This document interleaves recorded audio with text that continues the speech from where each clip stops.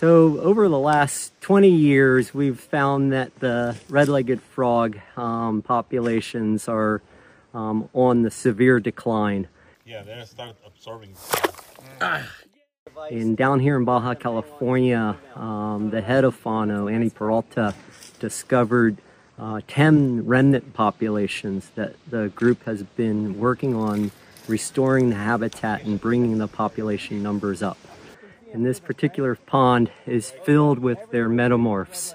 And metamorphs is a little froglet that's just hatched out um, of their eggs into tadpoles. So we've been translocating eggs from this population across the international border into Southern California and reestablishing California's largest native frog back into areas that have blinked out and are no longer populated by the frog.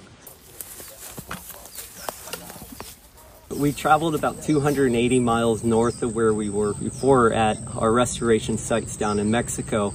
And here now we're at one of our release ponds here in Southern California. So uh, the U.S. populations um, are monitored annually. And this year we deployed microphones around all the ponds. And with the help of an AI acoustic model, we've been analyzing the sounds that we've been recording.